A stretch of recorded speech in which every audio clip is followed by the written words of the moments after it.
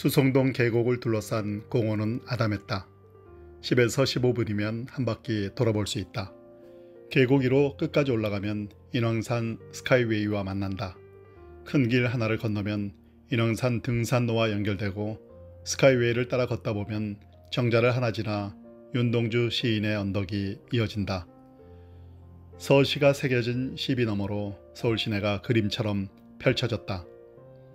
죽는 날까지 하늘을 우러러 한 점 부끄러움이 없기를 잎새에 이는 바람에도 나는 괴로워했다. 오늘 밤에도 별이 바람에 스치온다.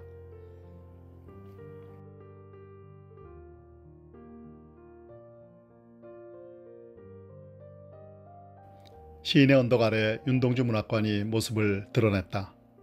버려진 청운 수도 가압장과 물탱크를 개조해 만든 문학관의 모티브는 우물이다. 가압장은 느려지는 물살에 압력을 가해 다시 힘차게 흐르도록 도와주는 곳이다. 세상사에 지쳐 타협하면서 비겁해지는 우리 영혼의 물길을 정비해 새롭게 흐르도록 한다는 의미에서 윤동주 문학관은 영혼의 가압장처럼 다가왔다. 문학관은 세 개의 전시실로 구성되어 있다. 윤동주 시인의 일생을 담은 사진 자료와 친필 원고의 영인본 등이 전시된 제1전시실에서 묵직한 철문을 열고 나오면 물때 낀 벽면과 하늘이 감싸하는 열린 우물이 나온다. 열린 우물 안쪽으로 팥배나무가 가지를 들이웠다. 제2전시실은 물탱크로 이용됐던 공간의 윗부분을 개방해 중정으로 조성한 곳이다. 윤동주 시인의 시 자화상을 자연스럽게 떠올리게 만든다. 그가 오랫동안 서서 바라보던 우물은 어떤 모습이었을까? 우물 속에는 달이 밝고 구름이 흐르고 하늘이 펼쳐지고 파란 바람이 불고 가을이 있고 추억처럼 사나이가 있습니다. 제3전시실은 닫힌 우물이다. 또 다른 물탱크를 개조해 천장은 물론 사방이 막힌 전시실이다. 천장에서 흘러내려오는 한 줄기 빛만 존재하는 닫힌 우물은 윤동주가 생을 마감한 일본 후쿠오카 형무소를 연상시킨다. 물탱크로 한 줄기 햇빛이 흘러들어온다. 우물은 텅 비어있다. 닫힌 우물에서는 동주의 삶을 담은 짤막한 영상물만 하루 네 차례 상영된다. 채우기보다 비움을 택한 공간에서 시인의 삶을 더 깊게 느낄 수 있다. 형무소에서 갇힌 채 29세의 나이로 삶을 마감해야 했던 시인의 마지막 순간이 봉인되었던 기억의 상자 속에서 빠져나오는 듯했다.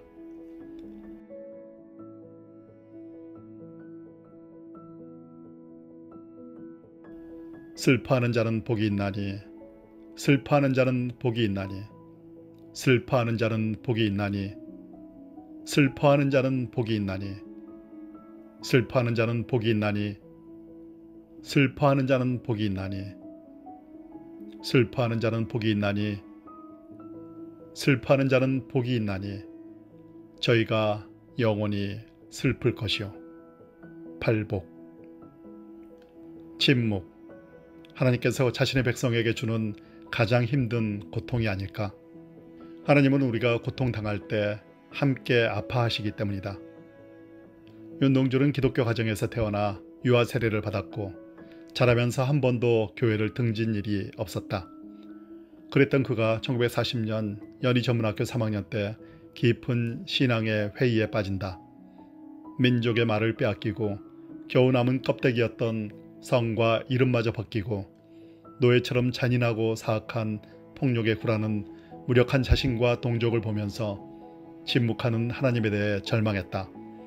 절망감은 그의 신앙을 바닥에서부터 흔들었다. 그가 연희 전문학교에 입학한 1919년은 일제가 국가총동원법을 조선에 적용해 한민족 전체를 전시 동원체제의 수렁으로 몰아놨던 때였다. 그의 고뇌와 번민은 깊어갈 수밖에 없었다. 1939년 한 해 동안 쓴 시는 6편에 불과했다. 왜 하나님은 우리 민족에게 이런 고난을 주는 것인가? 그는 민족의 처절한 순환에도 아무런 응답 없이 침묵을 지키는 신에게 항명했다. 1940년 12월쯤 쓴 팔복은 마태복음 5장 3절에서 12절을 근거로 한다. 그러나 성경이 말하는 팔복과 상이하다. 슬퍼하는 자는 복이 있나니를 여덟 번 되풀이함으로 성경이 분류한 심령이 가난한 자, 애통한 자, 온유한 자, 의에 줄이고 목마른 자, 긍휼히 여기는 자, 마음이 청결한 자, 화평케 하는 자, 의를 위하여 핍박을 받은 자를 대치했다. 이 여덟 가지 미덕을 가졌다 해도 한민족인 이상 모두 슬퍼하는 자일 뿐이라고 절규한 것이다. 투르게네프의 언덕에는 기만적인 싸구려 이웃사랑에 대한 날카로운 풍자가 담겨 있어 그의 내면의 풍경을 짐작할 수 있다. 한민족이 겪고 있는 처참한 고난의 현장에서 그런 고난에 대해 침묵하고 있는 신에게 항명한 시였다.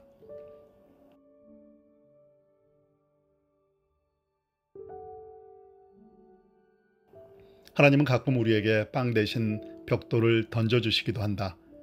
어떤 이는 그 벽돌을 던져버리지만 어떤 이는 그 벽돌을 모아 삶의 주춧돌을 만들기도 한다. 고난을 당할 때 우리가 생각해야 할 것은 주님과 영원히 함께하고 있다는 사실을 믿는 것, 그리고 고통이 있는 곳에 그리스도가 있다는 것을 믿는 것이다. 윤동주는 하나님이 주신 벽돌을 자신의 주춧돌로 삼았다. 범민의 터널을 지나 연희 전문학교 졸업반이던 1941년 그는 내적인 방황과 자신을 짓눌렀던 역사의 무게를 시로 승화시켰다. 무서운 시간에서 나 아직 여기 호흡이 남아있소라며 살아있음을 확인하고 간판 없는 거리에서 손목을 잡고 보듬는 따뜻한 민족 사랑을 시로 녹였다. 이어 십자가로 순명을 다짐했다. 괴로웠던 사나이, 행복한 예수 그리스도에게처럼 십자가가 허락된다면 모가지를 들이우고 꽃처럼 피어나는 피를 어두워가는 하늘 밑에 조용히 흘리겠습니다. 그는 모진 풍파 속에서 독립한 나라를 희망하는 마음으로 죽음의 나락에 빠진 민족을 사랑했고 자신에게 주어진 길을 걸어갔다. 히라누마 도주 윤동주의 일본 이름이다. 연희 전문학교 졸업 후 일본 유학을 위해서 반드시 일본식 이름으로 바꿔야 했다. 결국 그 이름으로 1942년 일본 유학길에 오른다. 그는 별 해는 밤에서 별 하나의 아름다운 이름을 불러보며 안타까워했다. 수학교 때 책상을 같이 했던 아이들의 이름과 패, 경, 옥 이런 이국 소녀들의 이름과 벌써 애기 어머니 된 계집애들의 이름과 가난한 이웃 사람들의 이름과 비둘기, 강아지, 토끼, 노새, 노루, 프랑시스 잠, 라이너 마리아 릴케 이런 시인의 이름을 불러본다. 그러나 그는 이름 하나하나에 담긴 소중함을 느끼지만 죄책감을 감추지 못하고 모래로 자신의 이름을 덮어버린다. 내 이름자를 써보고 흙으로 덮어버렸습니다. 윤동주가 진학한立교대학은 성공회에서 경영하는 기독교계 학교였다. 이 시절의 고뇌는 쉽게 쓰여진 시에 잘 드러나 있다.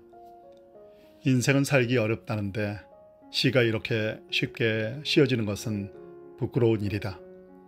육첩방은 남의 나라, 창밖에 밤비가 속살거리는데 육첩방은 바로 내 나라를 빼앗아간 남의 나라이다. 그는 육첩방에 앉아 공부할 수밖에 없는 처지였다. 독립하지 못한 조국과 부모님의 도움에 기대어 공부할 수밖에 없는 자신의 상황에 부끄러움과 적외감을 느꼈다. 이 시를 마지막으로 윤동주는 1943년 7월 일본 경찰에 체포됐다. 그는 등불을 밝혀 어둠을 조금 내몰고 시대처럼 올 아침을 기다렸다. 그러나 조국의 광복을 불과 6개월 앞두고 일본 후쿠오카 감옥에서 순국했다. 시 뒤로 숨는 것 같아 죄책감을 느꼈던 그가 이렇게 말하는 듯하다. 시도 자기 생각을 펼치기에 부족하지 않습니다. 사람들 마음속에 살아있는 진실을 드러낼 때 문학은 온전하게 힘을 얻는 거고 그 힘이 하나하나 모여서 세상을 바꾸는 것입니다. 그가 노래한 시는 시대의 정신이었고 신앙 고백이었다. 내 죽는 날 아침에는 서럽지도 않은 가랑잎이 떨어질 것이라고 예감한 그는 죽었으나 민족의 가슴에 여전히 살아있다.